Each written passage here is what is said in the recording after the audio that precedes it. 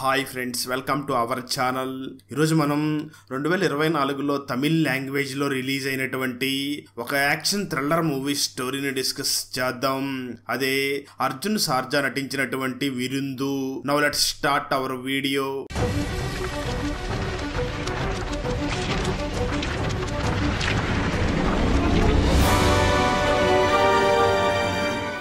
Open చేస్తే John Abraham అనే business man కారులో వెళుతూ ఉంటాడు. అదే సమయంలో ఒక గ్యాంగ్ ఆ కారునే ఫాలో అయ్యి వెంటనే ఆ కారుని ఆపి ఆ గ్యాంగ్లో ఉన్న ఒక వ్యక్తి ఎవరితోనో ఫోన్లో మాట్లాడుతూ మీరిప్పుడు ఆ జాన్ అబ్రహం తోనే మాట్లాడండి అని తన ఫోన్ని జాన్ అబ్రహం కి ఇస్తాడు. దాంతో అబ్రహం ఆ ఫోన్ తీసుకుని మాట్లాడతాడు.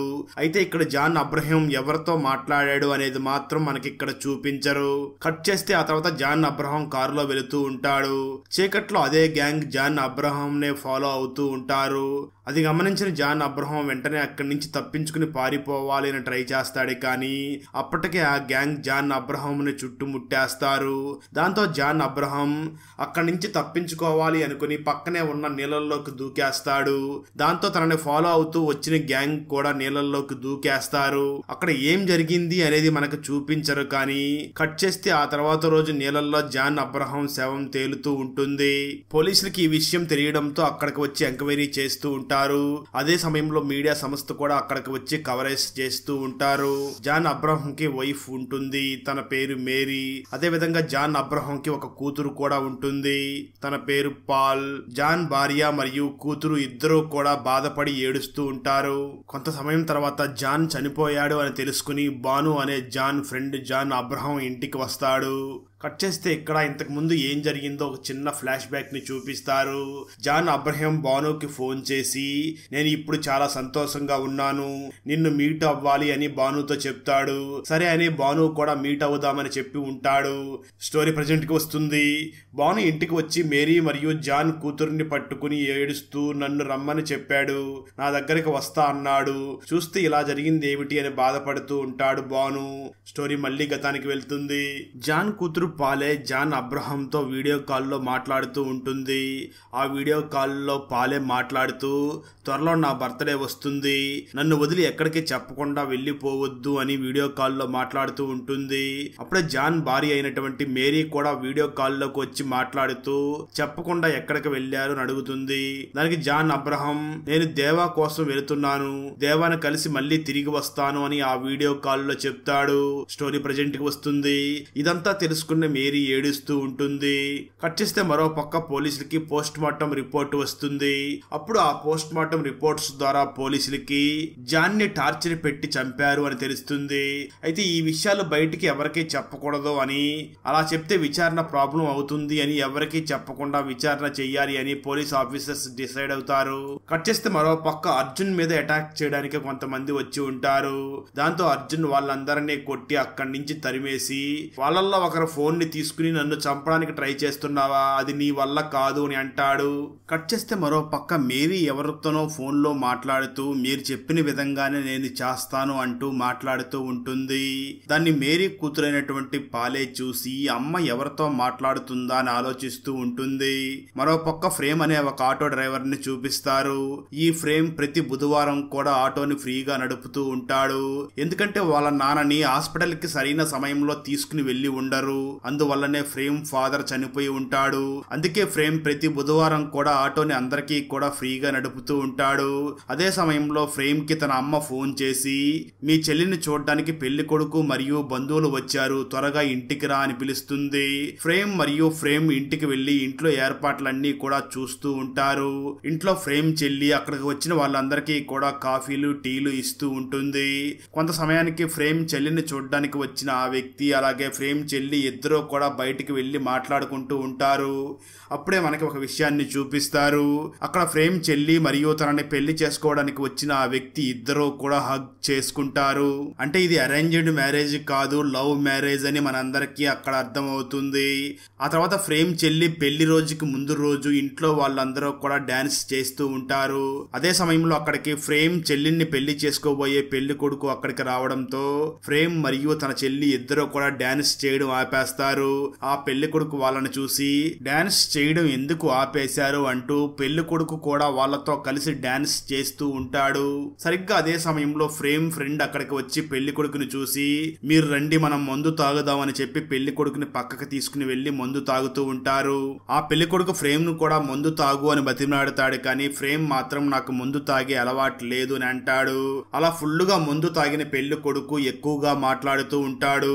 దాంతో ఫ్రేమ్ పెళ్ళి కొడుకుని ఇంటి దగ్గర వదిలేసి వద్దాము అని తన ఆటో తీసుకుని వచ్చి ఆటోలో ఎక్కించుకుని వెళుతూ ఉంటాడు. ఆ సమయంలో ఫ్రేమ్ ఆ పెళ్ళి కొడుకును చూసి మీరు మంచివారు కాబట్టి మా చెల్లి నిన్ను లవ్ చేసింది. మీకు ఎక్కువ అప్పులు ఉన్నాయని తెలిసింది. నేను కూడా మీకు సహాయం చేస్తాను. ఆ అప్పుల్ని త్వరగా తీర్చేద్దామని అంటాడు. దానికి ఆ పెళ్ళి కొడుకు మాత్రం వద్దు నా అప్పుల్ని నేనే తీర్చుకుంటాను అంటూ ఉంటాడు. సరిగ్గా అదే సమయంలో ఫ్రేమ్ వెళ్తున్న ఆటోకి ఎదురుగుండా ఒక కారు వస్తూ ఉంటుంది. సడన్గా అదే సమయంలో ఒక లారీ వచ్చి ఆ కారుని గుద్దేసి ఏమీ పట్టించుకోకుండా అక్కడి నుంచి వెళ్ళిపోతుంది దాంతో ఆటో నడుపుతున్న ఫ్రేమ్ వెంటనే ఇలా గుద్దేసి ఏమీ పట్టించుకోకుండా వెళ్ళిపోతున్నారేమిటి? ఇది కావాలని చేసినట్లు ఉంది అని వెంటనే ఆ కారు దగ్గరికి వెళ్ళగా ఆ కారులో మేరీ కొన ఊపిరితో ఉంటుంది. ఫ్రేమ్ వెంటనే మేరీని హాస్పిటల్కి తీసుకుని వెళ్ళడానికి ప్రయత్నిస్తాడు. అయితే మేరీ మాత్రం ఫ్రేమ్ని చూసి నేను హాస్పిటల్కి వెళ్ళినా బ్రతకను కానీ నేను చెప్పే విషయాన్ని మాత్రం బానుకు చెప్పు అని చెప్పి దీని అంతటికీ కారణం సెవెన్ హిల్స్ అని చెప్పి ఇంకా ఏదో చెప్పబోతూ తను చనిపోతుంది. ఆ తర్వాత ఫ్రేమ్ వెంటనే వెళ్ళి తన ఫ్రెండ్ని కలిసి జరిగిందంతా తనకు చెప్పి వెంటనే మనం వెళ్ళి పోలీసులకి చెప్దామని అంటాడు. అయితే ఫ్రేమ్ ఫ్రెండ్ మాత్రం పొద్దున్నే చెల్లి పెళ్ళి ఉంది. ఇప్పుడు పోలీస్ స్టేషన్కి వెళ్తే మనం అక్కడే ఉండిపోవాల్సి వస్తుంది. మనం వెళ్ళనవసరం లేదు. నాకు తెలిసిన ఒక కానిస్టేబుల్ ఉన్నాడు. అతనికి ఫోన్ చేసి చెప్దామని అతనికి ఫోన్ చేసి చెప్తారు. ఆ కానిస్టేబుల్ మాట్లాడుతూ మాకు కూడా ఇప్పుడే తెలిసింది అక్కడికే వెళుతున్నాము అని చెప్తాడు. ఆ తర్వాత రోజు మార్నింగ్ మీడియా వాళ్ళు ఆ మేరీ యాక్సిడెంట్ జరిగిన ఆ ప్లేస్కి వచ్చి కొన్ని నెలలకు ముందు మేరీ హస్బెండ్ చనిపోయాడు. ఇప్పుడు మేరీ చనిపోయింది అంటూ న్యూస్ని కవరేజ్ చేస్తూ ఉంటారు. మరో పక్క ఫ్రేమ్ చెల్లెలి పెళ్ళి కూడా అయిపోవడంతో తన చెల్లిని తన బావతో పాటు ఇంటికి పంపించేస్తాడు. ఆ తర్వాత ఫ్రేమ్ ఆ మేరీ చెప్పింది బానుకి చెప్పడం కోసం బాను పార్టీ ఆఫీస్లో వెయిట్ చేస్తూ ఉంటాడు. అక్కడికి బాను వచ్చిన తర్వాత ఫ్రేమ్ తనని కలిసి ఆ మేరీ చెప్పినట్లు ఆ మేరీ చావుకి జాన్ అబ్రహం చావుకి కారణం సెవెన్ హిల్స్ అని చెప్పింది కదా. ఇదే విషయాన్ని ఫ్రేమ్ ఆ బానుకి చెప్తాడు. కొంత సమయం తర్వాత ఫ్రేమ్ దగ్గరికి తన ఫ్రెండ్ వచ్చి నేను ఎంక్వైరీ చేశాను. ఈ మేరీకి కొన్ని నెలల క్రితం తన హస్బెండ్ చనిపోయాడు. ఇప్పుడు మేరీ కూడా చనిపోయింది. వీళ్ళని ఎవరో కావాలనే చంపుతున్నట్లు ఉన్నారు. ఈ విషయంలో మనం ఇన్వాల్వ్ అవ్వడం అంత మంచిది కాదు అని అంటాడు. కట్ చేస్తే మరో పక్క పాలే తన అమ్మా నాన్న చనిపోవడంతో చాలా బాధపడుతూ ఉంటుంది. సరిగ్గా అదే సమయంలో పాలే దగ్గరికి కొంతమంది వ్యక్తులు వచ్చి తన మీద అటాక్ చేస్తారు. దాంతో పాలే తప్పించుకుని ఆ ఇంటి నుంచి బయటికి వస్తుంది. సరిగ్గా అదే సమయంలో పాలే ఇంటి దగ్గరికి బాను వచ్చి ఉంటాడు. బాను వెంటనే పాలేని తన కారులో ఎక్కించుకుని అక్కడి నుంచి తీసుకుని వెళ్ళిపోతాడు. అలా బాను వెంటనే ఆ పాలేని అడవిలో ఉన్న ఒక ఇంటి దగ్గరికి తీసుకుని వెళ్తాడు. అక్కడ బాను అనుచరుల్లో చాలా మంది ఉంటారు. అంటే అక్కడైతేనే పాలే సేఫ్గా ఉంటుంది అని అక్కడికి తీసుకుని వెళ్తాడు. అప్పుడు పాలే బానుని చూసి నేను చనిపోతాను. నన్ను ఎందుకు ఇక్కడికి తీసుకుని వచ్చారు? అని అడుగుతుంది. దానికి బాను మాట్లాడుతూ మీ నాన్నని మీ అమ్మని చంపిన వారిని కనిపెట్టాలి. అందుకోసమే నేను నిన్ను ఇక్కడికి తీసుకుని వచ్చాను. నువ్వు బ్రతికే ఉండాలి అని అంటాడు. ఆ తర్వాత బాను జాన్ అబ్రహం మరియు మేరీ మరణాలకి కారణం సెవెన్ హిల్స్ అని ఆ మేరీ చనిపోయే ముందు చెప్పింది అని ఫ్రేమ్ చెప్పిన మాటలను గుర్తు చేసుకుని అసలు ఈ సెవెన్ హిల్స్ అంటే ఏమిటా అని ఆలోచిస్తూ ఉంటాడు. ఆ తర్వాత బాను ఫ్రేమ్ కూడా వాళ్ళతో ఉంటే మంచిగా ఉంటుంది అని ఫ్రేమ్ను కూడా తన దగ్గరికి తీసుకుని వచ్చి ఉంటాడు. వెంటనే బాను ఆ సెవెన్ హిల్స్ గురించి ఆ పాలే దగ్గరికి వెళ్ళి చెప్తాడు. పాలేకి కూడా ఆ సెవెన్ హిల్స్ గురించి ఏమీ తెలిసి ఉండదు. కొంత సమయం తర్వాత ఆ పాలే ఉన్న ప్లేస్ని కనుక్కొని ఆ పాలేని విచారించడం కోసం పోలీసులు అక్కడికి వస్తారు. భాను మాత్రం పోలీసుల్ని చూసి ఆ పాలే ఇక్కడ లేదు అని చెప్తూ ఉంటాడు కానీ పోలీసులు మాత్రం ఆ ఇంటి లోపలికి వెళ్ళి అంతా వెతుకుతారు. అయితే ఎక్కడా కూడా పాలే వాళ్ళకి కనిపించదు. నిజానికి బాను ఆ పాలేని దాక్కోమని చెప్పి ఉంటాడు. ఆ తర్వాత పోలీసులు వెళ్ళిపోయిన తర్వాత బాను వెంటనే పాలే మరియు ఫ్రేమ్ని చూసి మీరు ఇక్కడ ఉండడం ప్రమాదం. ఫ్రేమ్ నువ్వు ఈ పాలేని ఇక్కడి నుంచి ఎక్కడికి ఎక్కడికైనా దూరంగా తీసుకుని వెళ్ళు అని చెప్పి ఒక జీప్ తీసుకుని వచ్చి ఫ్రేమ్కి ఇస్తాడు. దాంతో ఫ్రేమ్ పాలేని అక్కడి నుంచి తీసుకుని వెళ్తూ ఉంటాడు. ఆ సమయంలో అర్జున్ పాలే మరియు ఫ్రేమ్ వెళ్తున్న ఆ జీప్ని ఫాలో అవుతూ ఉంటాడు. ఫ్రేమ్ కార్ని చాలా వేగంగా బాను చెప్పిన ప్లేస్ దగ్గరకి తీసుకుని వెళ్తూ ఉంటాడు. అయితే పాలే మాత్రం ఫ్రేమ్ని చూసి అక్కడ కాదు నేను చెప్పిన ప్లేస్కి తీసుకుని వెళ్ళు అని అంటుంది. దాంతో ఫ్రేమ్ వెంటనే ఆ పాలే చెప్పిన ప్లేస్కి జీప్ని డ్రైవ్ చేస్తూ ఉంటాడు.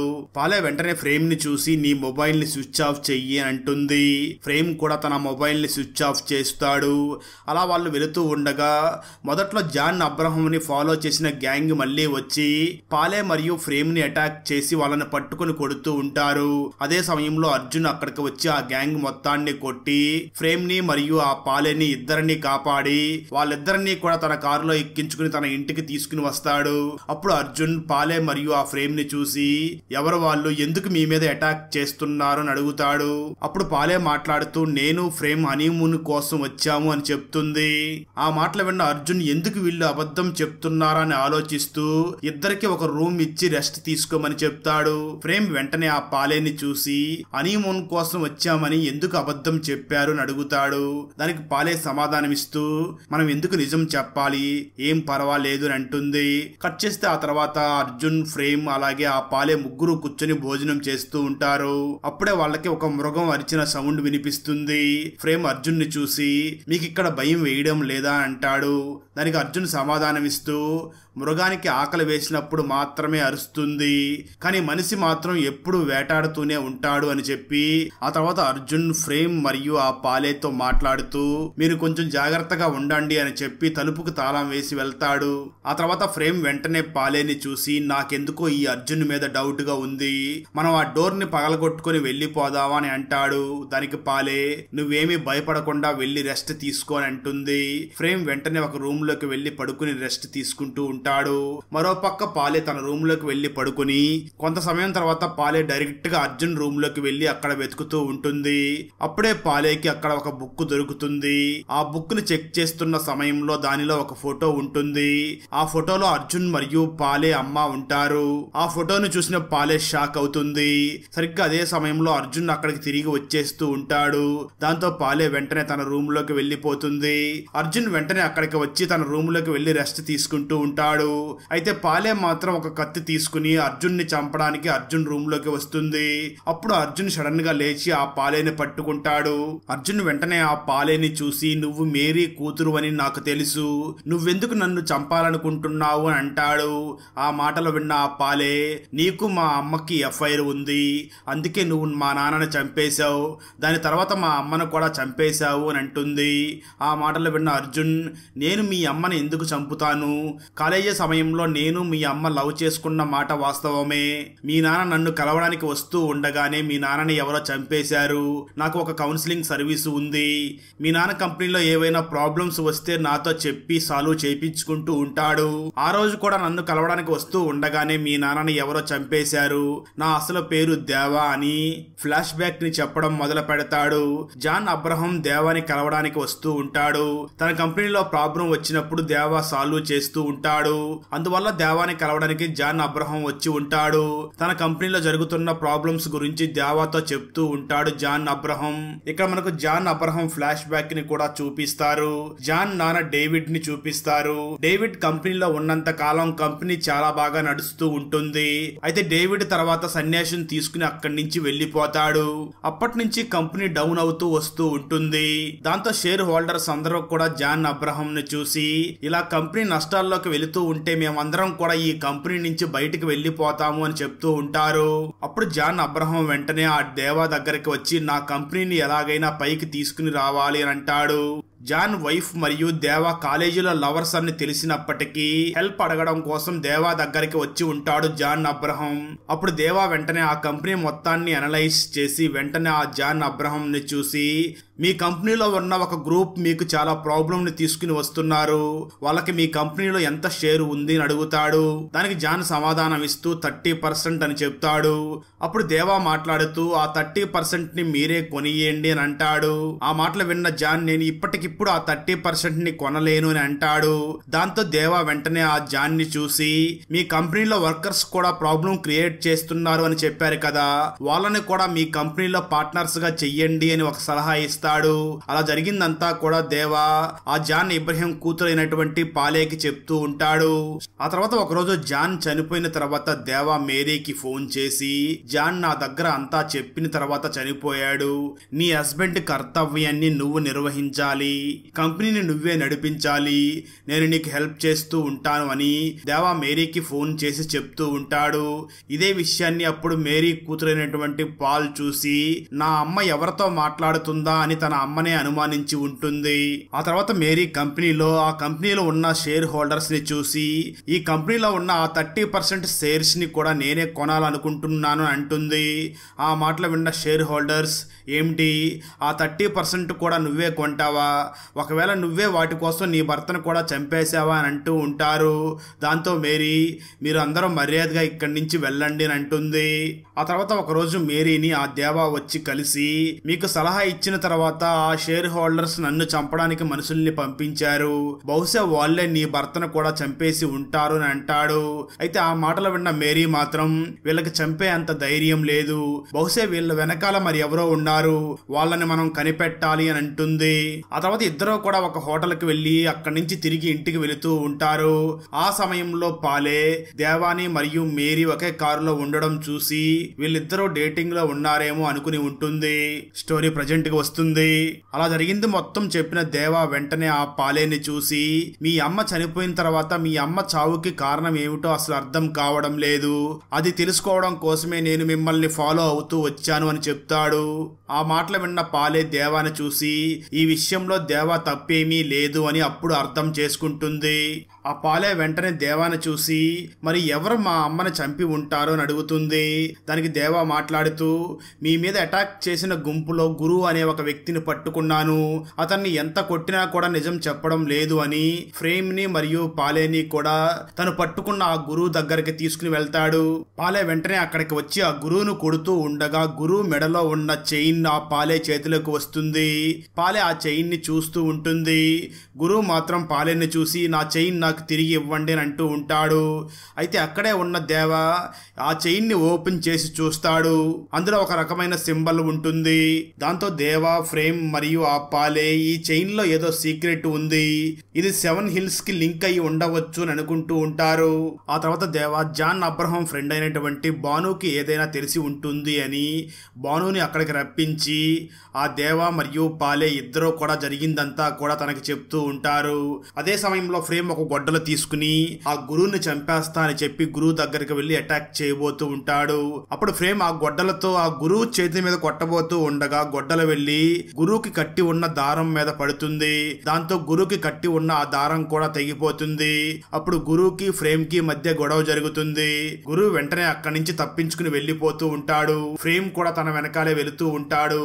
ఇక్కడ ట్విస్ట్ ఏమిటి అంటే దేవా మరియు ఫ్రేమ్ ఈ గురువుని వదిలేస్తే ఏదైనా తెలుస్తుందేమో అని ప్లాన్ చేసి అలా చేసి ఉంటారు. అక్కడి నుంచి తప్పించుకుని వెళుతున్న గురువు వెంటనే ఒక కారు ఎక్కి అక్కడి నుంచి వెళుతూ ఉంటాడు. నిజానికి ఆ కారులో డ్రైవర్గా బానునే ఉంటాడు. ఇది కూడా ఆ దేవానే ప్లాన్ చేసి ఉంటాడు. అలాగే అక్కడ దేవా మరియు గురువు ఏం మాట్లాడుకుంటూ ఉన్నారో వినడం కోసం కారులో సీక్రెట్ మైకుల్ని కూడా పెట్టి ఉంటాడు దేవా. అలా కారులో వెళుతూ ఉండగా గురువు బాను నుంచి ఫోన్ తీసుకుని ఎవరికో ఫోన్ చేసి అర్థం కాని లాంగ్వేజ్లో ఏదో మాట్లాడుతూ ఉంటాడు. అది మొత్తం వింటున్న దేవా కూడా గురువు ఏం మాట్లాడుతున్నాడో ఏమీ అర్థం కాదు. వెంటనే ఆ ఆడియో క్లిప్ని తనకు తెలిసిన ఒక వ్యక్తికి పంపించి దీన్ని ట్రాన్స్లేట్ చేసి పంపు అని అంటాడు. అలా బాను ఫోన్లో మాట్లాడిన తర్వాత గురువు వెంటనే ఆ ఫోన్ని బానుకి ఇవ్వబోతూ ఉండగా ఆ ఫోన్లో మేరీ కూతురైనటువంటి పాలే పేరు కనిపిస్తుంది. ఈ బాను ఫోన్లో ఆ మేరీ కూతురు పాలే పేరు ఎందుకు ఉంది?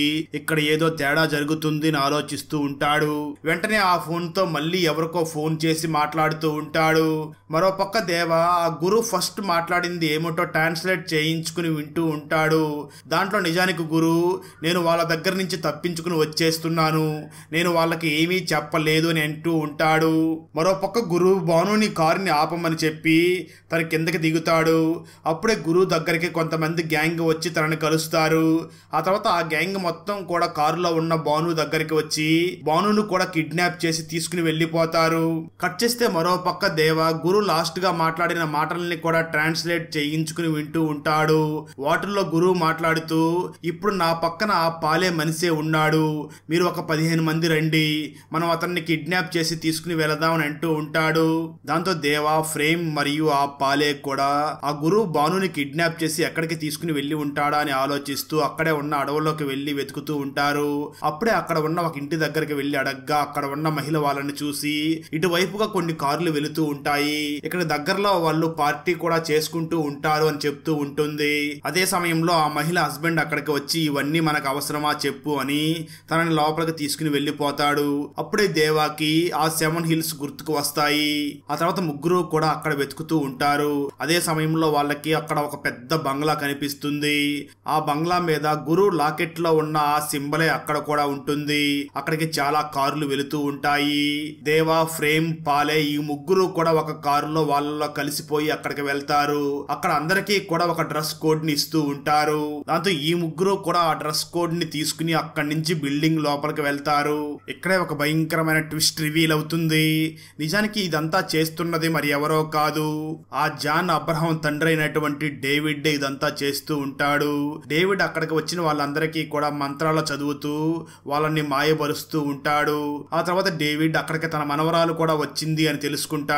వెంటనే తను దేవాని ఫ్రేమ్ని బంధించి బానుని ఏ రూమ్లో అయితే బంధించాడో అదే రూమ్లో వాళ్ళని పెడతాడు. తర్వాత డేవిడ్ వెంటనే తన మనవరాలైనటువంటి పాలేని ఒక రూమ్లోకి తీసుకుని వెళ్ళి తన చేత కేక్ కట్ చేయించి ఒక డ్రింక్ ఇచ్చి తాగమని చెప్తాడు. ఎప్పుడైతే పాలే ఆ డ్రింక్ తాగుతుందో పాలే స్పృహ కోల్పోయి కింద పడిపోతుంది. అప్పుడు దేవ డేవిడ్ని చూసి ఎందుకు ఇదంతా చేస్తున్నావు? అని అడుగుతాడు. డేవిడ్ సమాధానం ఇస్తూ నేను బిజినెస్ని బాగానే చేస్తూ ఉండేవాడిని. నాకు అంతకు నుంచి ఇండియాలోనే పెద్ద కోటీశ్వరుడు అవ్వాలని ఆశ ఉండేది. అందుకోసమే ఇక్కడ నరబలలు ఇస్తున్నాను అని చెప్తాడు. ఇక్కడ స్టోరీ గతానికి వెళ్తుంది. ఒకరోజు డేవిడ్ ఇంటి నుంచి వెళ్ళిపోయిన కొన్ని రోజుల తర్వాత తన కొడుకు జాన్ అబ్రహం కి ఫోన్ చేసి తనని ఏదో అడుగుతాడు. దానికి జాన్ అబ్రహం మాత్రం నువ్వు చెప్పిన విధంగా నేను చెయ్యలేను అని చెప్పి అక్కడి నుంచి వెళ్ళిపోతూ ఉంటాడు. దాంతో డేవిడ్ వెంటనే తన మనుషుల్ని పంపించి ఆ జాన్ అబ్రహం ని తీసుకుని వచ్చి టార్చర్ పెట్టి చంపేసి తనని నీటిలో పడేసి ఉంటాడు. ఆ తర్వాత మేరీని కూడా తీసుకుని వచ్చి జాన్ అబ్రహాం అడిగినట్లేగానే మేరీని కూడా అడుగుతాడు డేవిడ్. కానీ మేరీ కూడా డేవిడ్ అడిగిన దానికి ఒప్పుకోదు. దాంతో డేవిడ్ మేరీ వెళుతూ ఉండగా తనకి యాక్సిడెంట్ చేసి చంపేస్తాడు. అసలు నిజానికి డేవిడ్ ఆ జాన్ అబ్రహం ని మరియు ఈ మేరీని ఏం అడిగి ఉంటాడు అనేది ఇప్పుడు రివీల్ అవుతుంది. నిజానికి డేవిడ్ తన కొడుకు అయినటువంటి జాన్ అబ్రహం ని అలాగే మేరీని నేను ఈ దేశంలో నెంబర్ వన్ కోటీశ్వరుడిని అవ్వాలి అంటే మీ కూతురు పాలేని నరబలి ఇవ్వాలి. అందుకు మీరు ఒప్పుకోవాలి అని అడుగుతాడు. దానికి జాన్ అబ్రహం మరియు మేరీ ఇద్దరు కూడా ఒప్పుకుని ఉండరు. దాంతో డేవిడ్ వాళ్ళిద్దరినీ కూడా చంపేసి ఆ తర్వాత పాలేని తీసుకురావడం కోసం అక్కడికి మనుషుల్ని పంపించి ఉంటాడు. అప్పుడే బాను వచ్చి పాలేని అక్కడి నుంచి తీసుకుని వెళ్ళి కాపాడి ఉంటాడు. స్టోరీ ప్రజెంట్కి వస్తుంది. పాలే మత్తులో నుంచి కోలుకుంటూ ఉంటుంది. అదే సమయంలో పాలేని బలి ఇవ్వడానికి రెడీ చేస్తూ ఉంటారు. మరో పక్క డేవిడ్ ఆ దేవా మరియు ఫ్రేమ్తో మాట్లాడి అక్కడి నుంచి బలి ఇవ్వడానికి వెళ్ళిపోతాడు దేవా వెంటనే డేవిడ్ మనుషులందరినీ కూడా కొడుతూ ఉంటాడు. సరిగ్గా డేవిడ్ ఆ పాలేని బలి ఇవ్వబోతూ ఉండగా అక్కడికి దేవా వచ్చి డేవిడ్ నుంచి ఆ పాలేని కాపాడతాడు. అప్పటికే బాను పోలీసులకు ఇన్ఫార్మ్ చేసి ఉండడంతో పోలీసులు అక్కడికి వచ్చి డేవిడ్ని అతని మనుషులు మనుషులందరినీ కూడా అరెస్ట్ చేస్తారు. ఆ తర్వాత మీడియా ముందుకు వచ్చి అమావాస్య రోజు పౌర్ణమి రోజు ఇలా చేస్తే వాళ్ళకి ఏదో కలిసి వస్తుంది అని ప్రజలు వీటిలన్నిటినీ మానేస్తేనే సమాజం ముందుకు వెళుతుంది అంటాడు. మరోపక్క జైల్లో ఉన్న డేవిడ్ మాత్రం ఏ మాత్రం మారకుండా నన్ను కాపాడండి అంటూ ఏవో దుష్ట శక్తికి పూజలు చేస్తూ ఉంటాడు. అక్కడతో ఈ మూవీ ఎండ్ అవుతుంది. మూవీ చివరిలో మూఢనమ్మకాల వల్ల నిజంగా జరిగిన కొన్ని సంఘటనల్ని కూడా అక్కడ చూపిస్తాడు. అక్కడతో ఈ మూవీ ఎండ్ అవుతుంది. డాక్టర్స్ అయినటువంటి ఇద్దరు భార్యాభర్తల ఫ్యామిలీలో విచిత్రమైన సంఘటనలు ఎందుకు జరుగుతున్నాయి? దానికి కారణం తెలుసుకోవడం కోసం వాళ్ళు ఎందుకు వెళ్ళి డిటెక్టివ్ నే కలిశారు? ఆ లేడీ డాక్టర్ ఎందుకు అప్పుడప్పుడు పిచ్చిదానిలాగా ప్రవర్తిస్తుంది? ఈ కేసుని ఇన్వెస్టిగేషన్ చేసే సమయంలో ఆ డిటెక్టివ్కి తెలిసిన ఆ భయంకరమైన నిజాలు ఏమిటి? చివరికి ఆ డిటెక్టివ్ ఆ డాక్టర్స్ దంపతుల్ని వేధిస్తున్నది ఎవరో కనిపెట్టగలిగాడా లేదా అన్నదే? రెండు వేల ఇరవై నాలుగులో రిలీజ్ అయినటువంటి ఆ అద్భుత్ మూవీ స్టోరీ ఈ హిందీ మూవీ ఫుల్ మూవీ స్టోరీని తెలుగులో వినాలి అనుకుంటే ఈ వీడియో డిస్క్రిప్షన్లో ఉన్న లింక్ని క్లిక్ చేసి చూడండి. ఫ్రెండ్స్ వీడియో నచ్చినట్లయితే లైక్ చేసి ఒక చిన్న కామెంట్ చేస్తే మాకు నెక్స్ట్ వీడియో చేయడానికి ఎంకరేజింగ్గా ఉంటుంది. అలాగే ఛానల్ని సబ్స్క్రైబ్ చేసి పక్కనే ఉన్న బెల్ ఐకాన్ క్లిక్ చేసి సపోర్ట్ చెయ్యండి. థ్యాంక్స్ ఫర్ వాచింగ్ జై హింద్.